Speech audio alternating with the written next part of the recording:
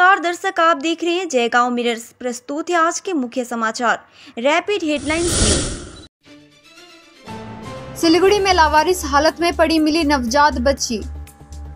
सिलीगुड़ी महकमा परिषद के घोषपुकुर क्षेत्र के फौजी जोत गाँव में दो दिन की नवजात कन्या की बरामदगी को लेकर सनसनी फैल गई है। माता पिता तीन से चार दिन की नवजात बेटी को स्थानीय निवासी के घर की बालकनी में छोड़कर भाग गए। इसके बाद स्थानीय लोगों ने तुरंत इसकी सूचना घोषपुकुर चौकी की पुलिस को दी। खबर पाकर पुलिस मौके पर पहुँची और लड़की को बचाकर अस्पताल पहुँचाया। उसे किसी तरह वहाँ से निकालकर फांसी देवा ग्रामीण अस्पताल लाया गया। उल्लेखनीय है कि कुछ दिन पहले सिलीगुड़ी महकुमा के विधाननगर के जंगल से एक बच्ची को बचाया गया था। बार बार घोषपुकुर इलाके के फौजी जोत गाँव में इसी तरह की घटनाओं से काफ़ी सनसनी फैल गई है। फांसी देवा ग्रामीण अस्पताल चिकित्सा सूत्रों के अनुसार बच्ची फ़िलहाल स्वस्थ है। घटना की सूचना पाकर फांसी देवा थाना और घोषपुकुर थाने की पुलिस मौके पर पहुँची। लेकिन इस बच्ची को रात के अंधेरे में कौन छोड़ गया? इस संबंध में कोई जानकारी नहीं मिली है। स्थानीय निवासियों ने बताया कि इस बच्ची की चीख सुनकर स्थानीय लोग उसे बचाने के लिए पहुँचे थे। बहरहाल, इस घटना के पीछे कौन कौन शामिल है और इस बच्ची को किसने छोड़ा? घोषपुकुर थाने की पुलिस पूरे घटना की जाँच में जुट गई है। पुलिस सूत्रों के मुताबिक जगह जगह सीसीटीवी कैमरे लगाए गए हैं और सीसीटीवी फुटेज देखने के बाद घोषपुकुर थाने की पुलिस पूरे घटना की जाँच में जुट गई है। मालदा में आम के बगीचे से 28 बम बरामद। कालियाचक थाना क्षेत्र के बीबीग्राम इलाके से पुलिस ने 28 बम बरामद किए।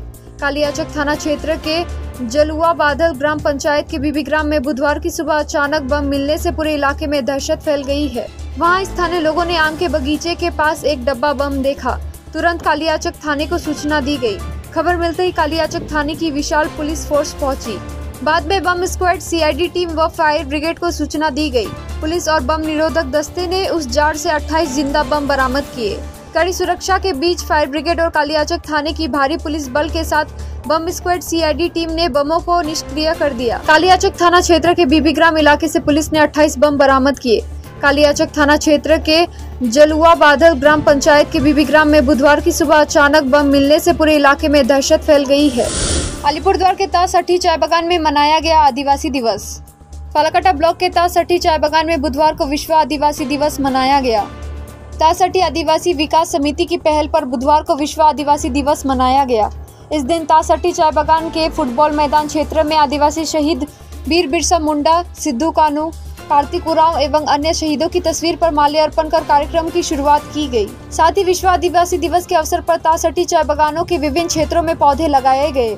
आदिवासी विकास समिति के सूत्रों के अनुसार इस दिन करीब सौ पौधे लगाए गए हैं। एस के चेयरमैन सौरभ चक्रवर्ती ने सड़क हादसों से सतर्क करने सिलीगुड़ी के तराई तारापद आदर्श स्कूल का दौरा किया। बेहाला में सड़क दुर्घटना में स्कूली छात्र सौरनील की मौत से सबक लेते हुए प्रशासन ने पहले से ही एहतियाती तैयारी शुरू कर दी है। एस के चेयरमैन सौरभ चक्रवर्ती ने सिलीगुड़ी के तराई तारापद आदर्श स्कूल में जाकर इस बात की जाँच की कि स्कूल के सामने सड़क दुर्घटना जैसी कोई खतरनाक स्थिति तो नहीं है। हाल ही में बिहाला में एक दर्दनाक सड़क हादसे में सात साल के बच्चे सौरनेल की मौत हो गई। पुलिस प्रशासन की भूमिका पर भी सवाल उठाए गए।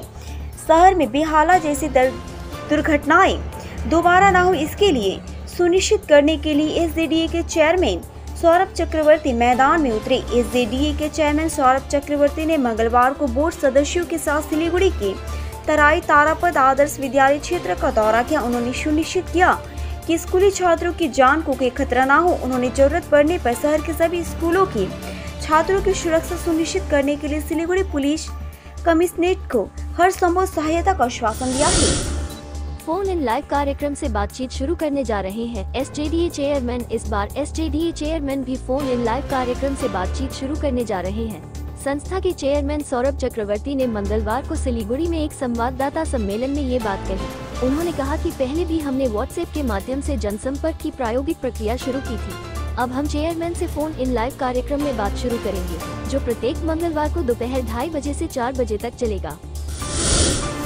विधायक शंकर घोष की उपस्थिति में सिलीगुड़ी के हाफमी चौक पर महिला मोर्चा का धरना जारी। भारतीय जनता पार्टी सिलीगुड़ी महिला मोर्चा ने धरना प्रदर्शन में शामिल होकर आरोप लगाया कि राज्य में महिलाओं की सुरक्षा पर कोई ध्यान नहीं है। भारतीय जनता पार्टी सिलीगुड़ी महिला मोर्चा ने दो दिवसीय धरना प्रदर्शन में शामिल होकर आरोप लगाया है कि राज्य भर में महिलाओं पर अत्याचार हो रहा है। इस राज्य में महिलाएँ सुरक्षित नहीं है।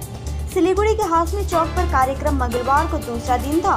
महिला मोर्चा के नेताओं की शिकायत है कि पूरे पश्चिम बंगाल में महिलाओं के खिलाफ हिंसा की एक के बाद एक घटनाएँ होती जा रही है, लेकिन राज्य सरकार कोई कार्रवाई नहीं कर रही है। इस विरोध में आज ये कार्यक्रम सिलीगुड़ी विधायक शंकर घोष में मौजूद थे इस कार्यक्रम के दौरान। फूलबाड़ी दो ग्राम पंचायत के प्रधान और उप प्रधान के नाम घोषित। फूलबाड़ी दो ग्राम पंचायत के मुखिया और उप मुखिया के नाम की घोषणा कर दी गई। दाबग्राम फूलबाड़ी विधानसभा क्षेत्र से संबंधित इस ग्राम पंचायत पर तृणमूल कांग्रेस ने कब्जा कर लिया है। जलपाईगुड़ी जिला परिषद के पूर्व अध्यक्ष देवाशीष प्रमाणिक ने बुधवार को तृणमूल के शीर्ष नेताओं द्वारा दी गई सूची के अनुसार प्रधान और उप के नामों की घोषणा की। रफीकुल इस्लाम को प्रधान और किशोर चंद्र रॉय को उप प्रधान के रूप में चुना गया है।